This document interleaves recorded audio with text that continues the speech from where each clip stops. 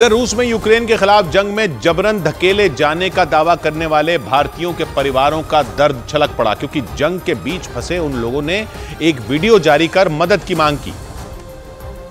और उस वीडियो में जो सात लोग दिखे, उन लोगों ने बताया कि वो नौकरी के लिए रूस गए थे, लेकिन उन्हें जबरन यूक्रेन के खिलाफ लड़ाई में भेज दिया गया।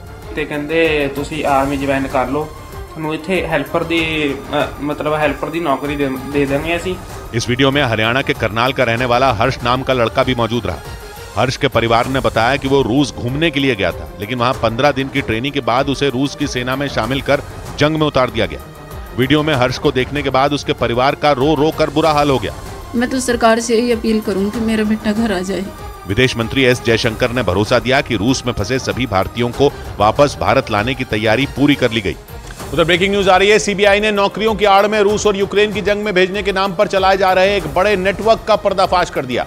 इस मामले में सीबीआई के छापे सात शहरों के दस से ज़्यादा जगहों पर जैसे ज़्यादा जगहों पर चल रहे हैं। इन शहरों में दिल्ली, मुंबई, अंबाला और चंडीगढ़ जैसे शहर शामिल हैं। सीबीआई ने मानव तस्करी के इस मामले में कई लोगों पर मामला भी दर्ज किया है।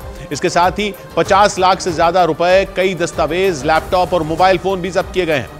खबर के मुताबिक पूछताछ के लिए कुछ संदिग्धों को भी हिरासत में लिया गया है। इनके साथ ही ऐसे 35 लोगों की पहचान कर ली गई है, जिन्हें नौकरी के नाम पर जंग लड़ने के लिए भेजा गया।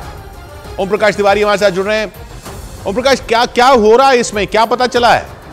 बिल्कुल किशोर, मैं आपको बता दूँ विभिन्न सूचनाओं के बाद सीबीआई ने इस मामले में 6 मार्च 2024 को यानी कल मानव तस्करी समेत अनेक अपराध धाराओं के तहत मुकदमा दर्ज किया था और इस मामले में छापेमारी की इस मामले में अब तक पैंतीस ऐसे लोगों का पता चला है, जिन्हें आकर्षक नौकरी दिलाने के नाम पर इस बार जो उन्हें भेजा भेजा गया था। फ़िलहाल सीबीआई को अनेक दस्तावेज़ मिले हैं और छापेमारी का दौर अभी भी जारी है। किशोर। शुक्रिया, ओपी, आपका।